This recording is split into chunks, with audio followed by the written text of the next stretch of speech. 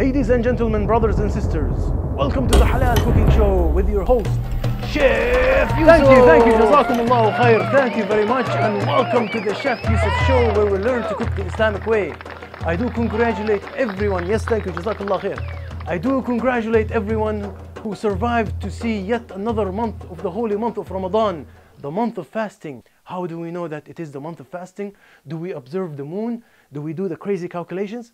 Well, I think this year we should unite the Ummah and vote for an Imam or a Khalifa so he can decide that tomorrow is Ramadan and knock these silly arguments off. So I do thank you. I'm happy to see you.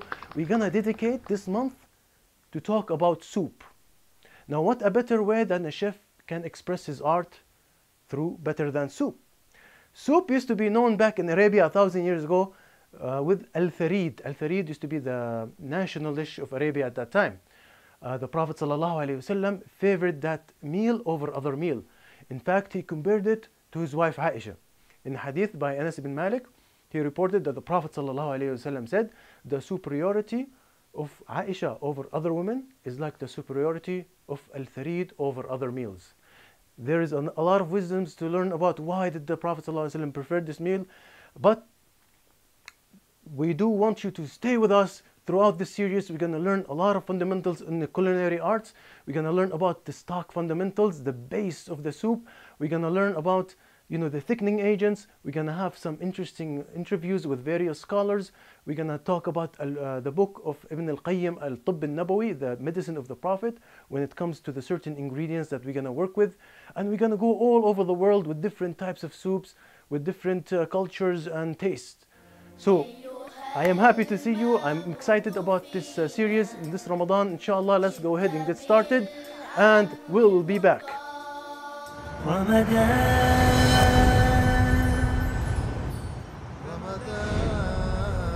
Assalamu alaikum warahmatullahi wabarakatuh. Welcome back. Before we learn anything about soup, we have to learn the fundamental of stock because it doesn't make sense to learn about uh, soup before we learn how to make the flavorful liquid that goes into the soup.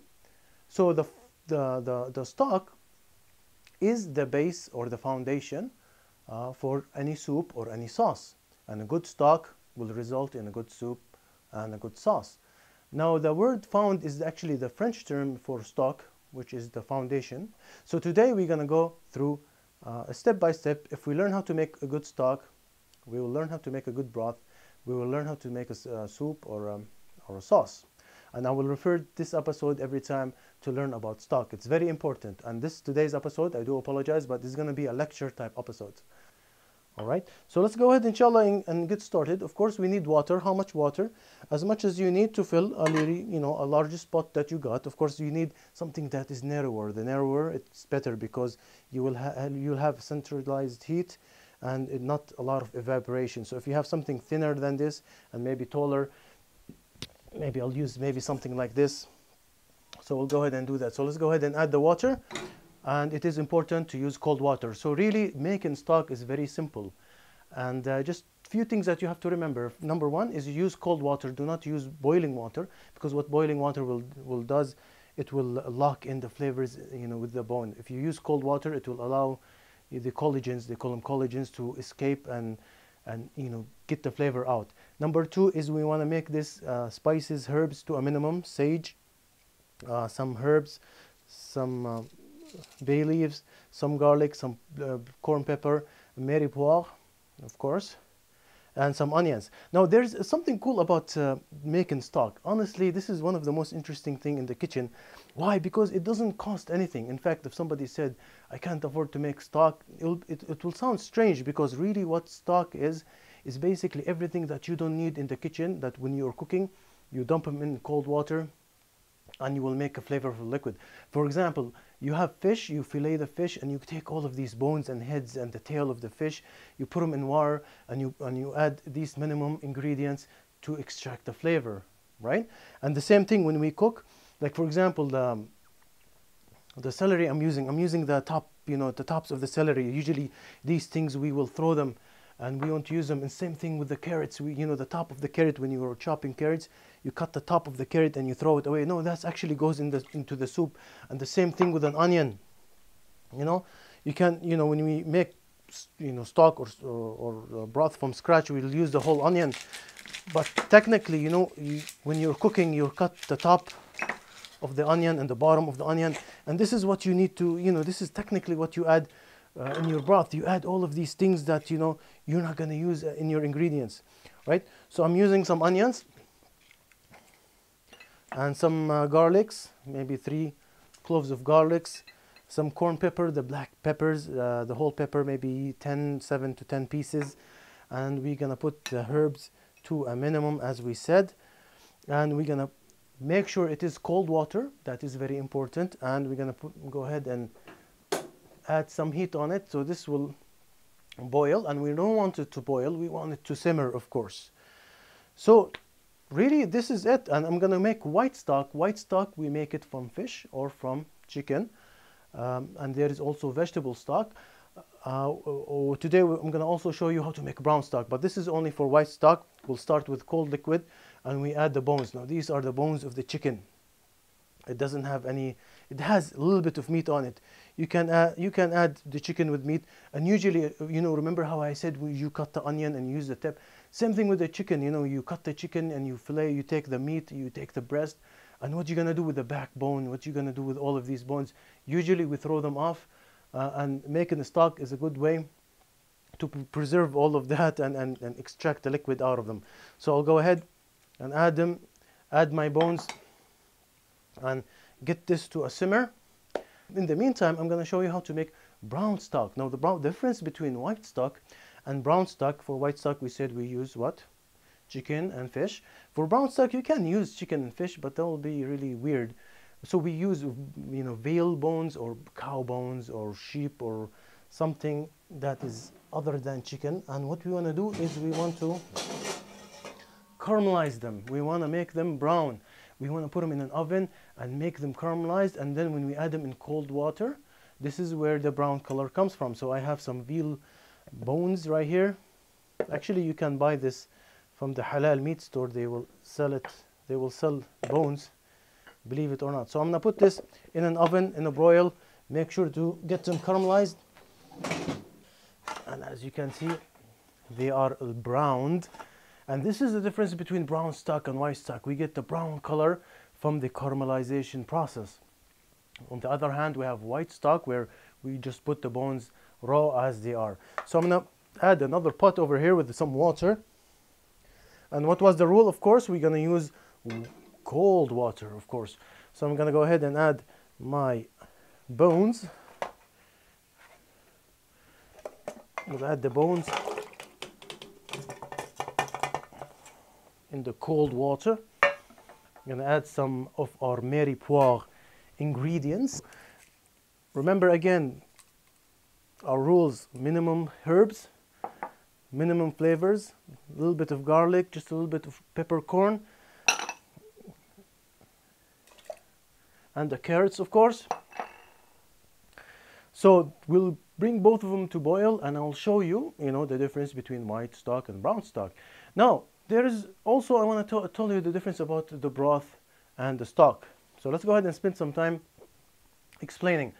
A stock is like a jello as you'll see at the end product. It will become like a jello. You cannot pure it from the can. If you bought a can that says stock and you can pure it it's not really stock. It's something else. Do I recommend using the, the stock that you buy from the carton or from the can? Of course I do, especially in the month of Ramadan. The month of Ramadan is the month of shortcuts when it comes to food. You know, this is not the month where we allow our women to spend all day and do an i'tikaf in the kitchen. No, so I do, yes, of course, if you have a stock from the, from the bottle, from the can, I would do recommend it very much. You can make uh, broth out of stock. You can add some liquid on the stock, will make, you know, thin it out, it becomes broth. Now, the, the really interesting thing about broth and stock, the stock, when you taste it, it, it's like an explosion in your mouth. It's like, wow, subhanAllah, so much flavor. Broth tend to have less of that. So, so stock when you taste it you can feel the tingling in your throat you know that feeling uh, it's much more dense in flavor uh, than broth so I'm gonna wait until this boils I'll show you the final product I just wanna you know go again uh, talk about the fundamentals because this is really the foundation without this you know the whole series will be very confusing Number one, the water should be cold. Number two, mirepoix. Number three, very minimum uh, spices and herbs. And number four, the most, most important ingredient is the bones. Uh, white stock, fish and chicken, raw. Brown stock, you know, we caramelize the bones, either veal bone or cow, or you can use chicken, but what's, you know, that would be useless. But we'll add them in cold water as well. Boiling, no, do not boil them. We want to simmer them. So I'm going to show you the final product. Um, do not go away. We still have the topic of uh, Ibn al-Qayyim, medicine of the Prophet, inshallah, when we come back. So stay with us. Assalamu alaikum.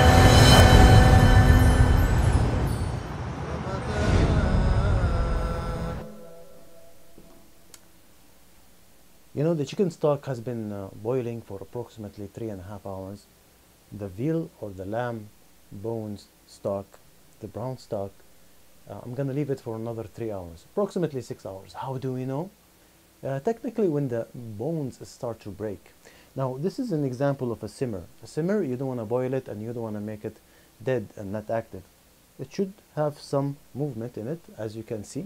So you don't want to, you don't want it to boil like this this is boiling and of course you don't want it to be completely dead as if it's there is no heat so let me show you the difference between the white stock and the brown stock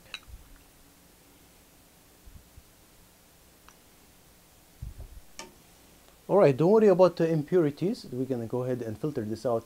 But this is an example of a chicken white stock. As you can see, it is uh, pretty clear. So, you know, when we make a clear soup, you know the the cut of the vegetable is very important because everything is transparent. You can see everything through. All right so let's go ahead and show you the brown stock. The brown stock I'm still working on it. It needs more time of course. But as you can see it's a little bit more on the darker side.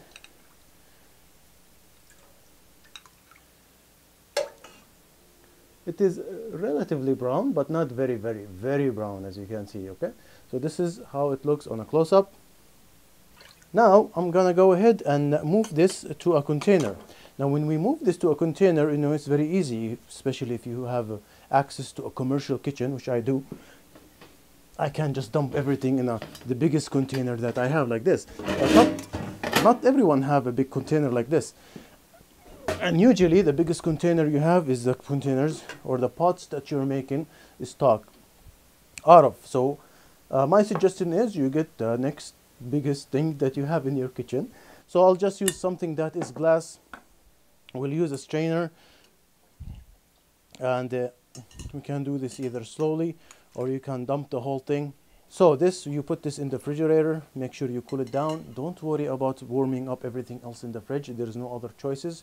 And make sure you do not use plastic or you don't put plastic bottles, ice bottles. Some people on TV do that. Uh, you know there are chemical reaction happens when you add hot liquid with plastics. You don't know what the water is extracting from from the bottles. Now after you have cooled down the stock then you can remove it and transfer it to a plastic container. And if you can take a look a closer look you will see that a layer of chicken fat will be on top of your cold stock. You can go ahead and remove that. That is not stock but it's very good stuff. You can can use it for other application maybe frying eggs or something you can add that. It'll be delicious trust me. When you take a closer look at your stock it should be a little bit like a little bit like jello like this as you can see. And uh, if, if it doesn't look like this very, if it's very smooth what you can do you can put it back um, you know reduce it down let it boil uh, reduce it maybe one fourth or one third and then cool it down. It should look like this now this will survive in your fridge for three days. It will get sour and since it doesn't have any salt it might go bad as well. So what you can do is if you're not going to use this go ahead and put them in zip bags and you can freeze them or you can put them in containers like this. You can freeze this uh, for for for the future you know. You always can use stock for something and you will see throughout this series that we're going to use stock for almost every dish that we're going to do for every soup uh, you can use it for sauces you can you know the question always I ask myself and ask everyone who's watching why do you want to cook in a flavorless liquid use stock broth or something with flavor with your food. Now I'm going to go ahead and move uh, to the table and we'll go ahead and read what Ibn al-Qayyim said about the topic of al-tharid or stock.